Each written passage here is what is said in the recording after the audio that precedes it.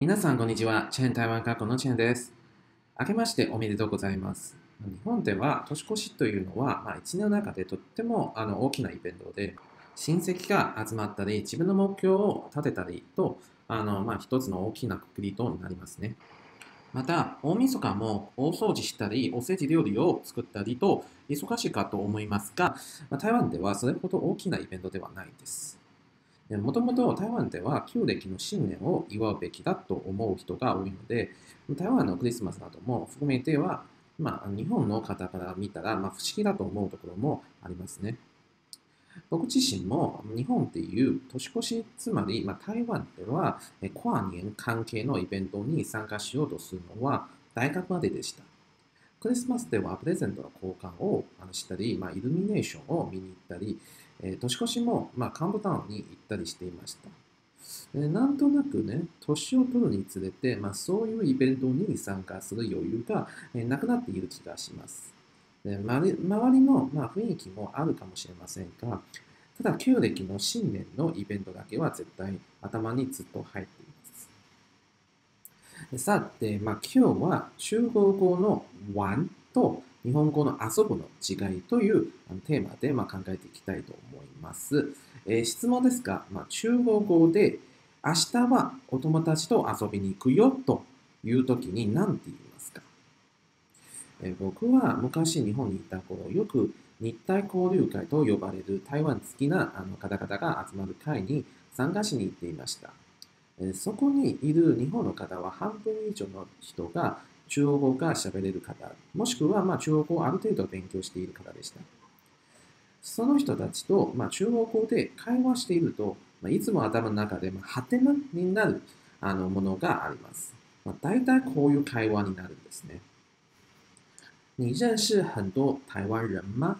あ、たくさん台湾人のお知お知り合いがいるんですか？と、えー、僕が聞いて、えー、我認識很多台灣人。我常常跟他们一起出去玩と、まあ、相手が返事しますね、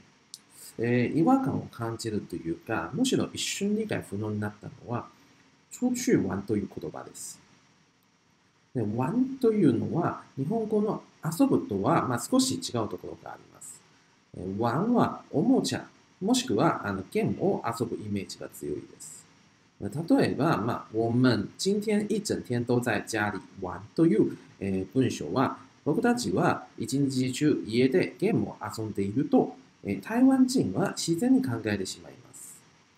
なので、まあ、最初、えー、交流会の例文で、我認識很多台灣人。我常常跟他們一起出去玩。え、というのは、まあ、一瞬理解不能になった理由というのは、何を遊ぶの、まあ、公園の遊具？でも、まあ、子供じゃないよね、と、なんかまあ考えてしまいますね。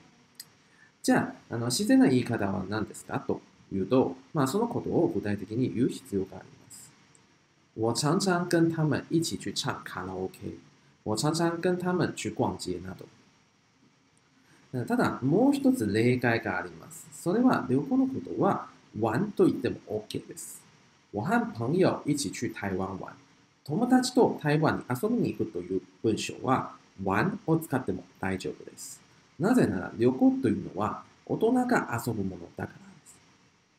なので、皆さん、玩という言葉は子供の方がよく使います。大人は旅行とゲーム以外、ほとんど使わないので気をつけてください。えー、最後、えー、もう一つ言いたいのは、えー、もし、えもっと自然な中国語を話したいなら、単語にフォーカスしない方がいいです。